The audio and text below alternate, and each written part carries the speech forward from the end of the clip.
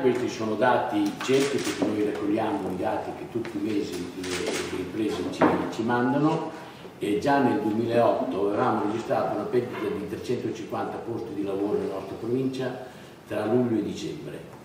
La flessione è proseguita anche nel 2009 con un ulteriore eh, 136 lavoratori iscritti in meno. Presidente, ci può in una battuta riassumere eh, qual è la situazione occupazionale rispetto al punto di vista della cassa edile? Sì, ad oggi i, i posti eh, persi nella nostra provincia sono circa 750. Io ritengo che non si sia ancora toccato del tutto il,